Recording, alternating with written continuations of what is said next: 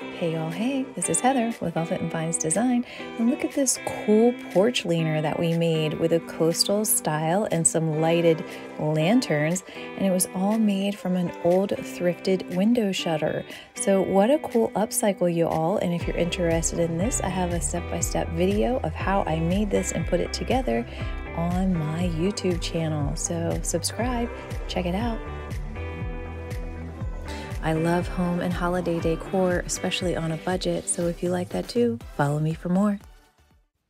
Hey y'all, hey, this is Heather with Velvet and Vines Design, and look at this cool porch leaner that we made with a coastal style and some lighted lanterns, and it was all made from an old thrifted window shutter. So what a cool upcycle you all, and if you're interested in this, I have a step-by-step -step video of how I made this and put it together on my YouTube channel. So subscribe, check it out.